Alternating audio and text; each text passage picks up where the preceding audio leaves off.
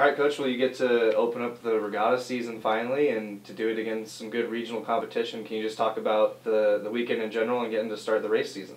Yeah, well, we can. We just really hardly can hardly wait to race. I mean, it's been a.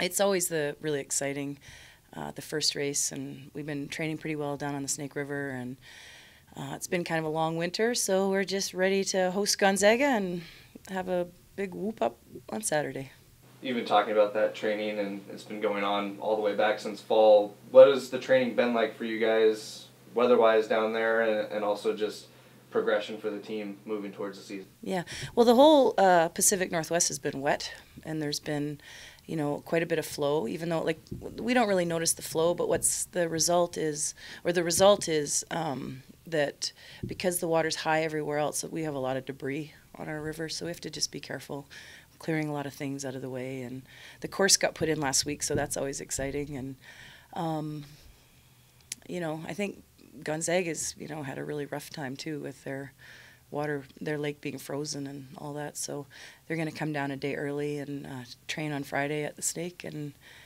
so it should be good.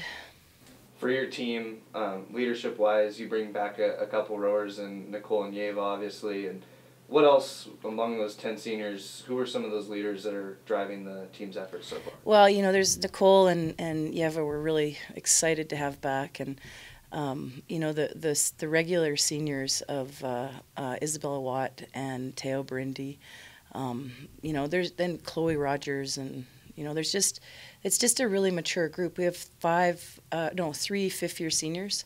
And that's a bit rare for us. And so it's it's nice to have uh, that maturity around the boathouse. And, you know, everybody's contributing, you know, including our freshmen. They are a really mature, um, really mature group who've just kind of folded right into the mix and are contributing at a lot of different levels when you have such an experienced team, does it create uh, an extra competitive nature for people vying for seats and, and, things that sort? How's that been going? I think it has been more difficult to make the boats this year. Yeah, um, and I think the quality. You know, we I think we're a little bit ahead of where we were last year in terms of the quality of uh, practice that I see. But uh, you never know. It's just that time of year when, you know, I hope that like what I consider to be fairly good. I you just didn't don't know and can't control what everybody else is doing. So, you know, it's really exciting.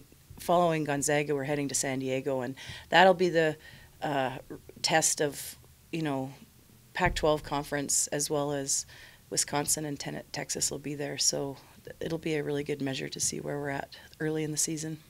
And when you mention that competition, you guys obviously against yourselves have been seeing competition every day. But now that you have another team coming in, what are the things that you look for as a coach in this first regatta?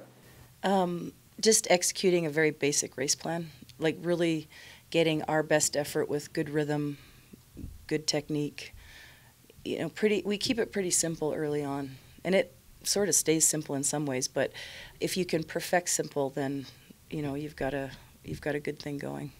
And then lastly, what do you say to Cougar fans who are maybe thinking of making their first trip down to the Snake River since they've been in Pullman who've never seen rowing before? What should they know about uh, what they're about to see this weekend? Well, I think that our venue is one of the most beautiful places to row in North America, and the weather looks like it's going to hold. I think that right now we're scheduled to race at 9 a.m., but we will make a call to possibly race at 8 if we feel like the weather is going to be better. So stay tuned for um, announcements on the web and um, come on down, bring a sweater.